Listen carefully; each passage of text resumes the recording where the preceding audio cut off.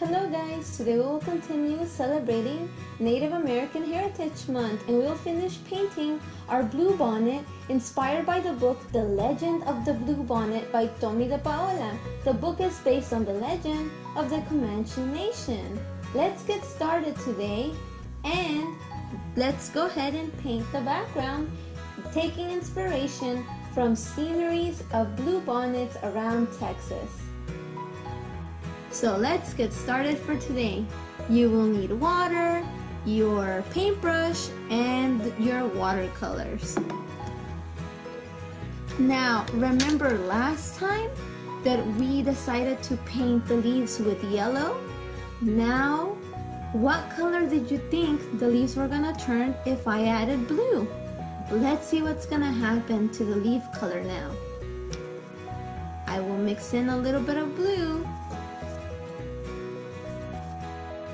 What color did the leaves turn? Was it the color that you, that you thought the leaves were going to turn?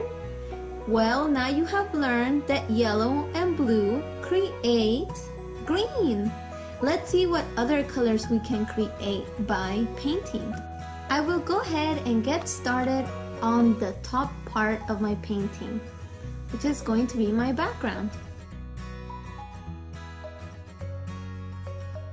Now that I painted it red, let's go on top of it with blue and let's see what color red and blue mixed together create. Alright, now I will let the blue dry and I will go ahead and after it dries, go back with it with red and the color that is going to mix is going to be purple. It depends if you added more red or more blue how dark your purple is going to be. If you add more red, it will be more light. If you add more blue, it will be a little bit darker. So the color is gonna be up to you. Now let's go ahead and do the next part right there. For this part, I will use red again.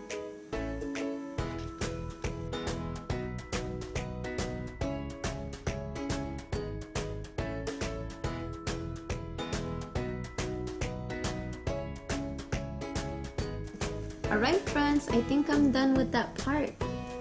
Now, if you want to use a little bit of yellow here, we're going to start with the yellow and then we are going to mix in red. What do you think will happen when I mix yellow and red?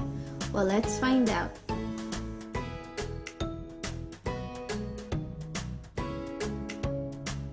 Alright friends, I have painted everything with yellow. Now I will go back and use a tiny little bit of red. So let's put a little drop of red right here and then let's see what color we can create.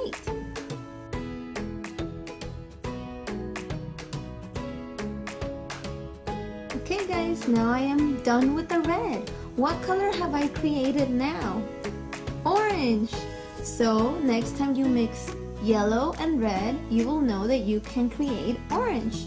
Now if you want to go back and fix your colors, wait until your paint is dry and then you can go back again and add more color on top so that way your colors can match. Now I'm going to go back here and I see the stem of the flower. I'm just going to go ahead and use normal green color to paint the stem. Alright friends, so now I have finished with the stem of my flower. Thank you so much for learning today and make sure that you are always remembering to be kind and respectful to people from different cultures. And I am so excited that you got to learn about Native American Heritage Month. I hope that you enjoyed it and that you read the books in our Bitmoji library where you will learn more about Native American people. So be sure to read because books and art make a better, more beautiful place to live. See you soon!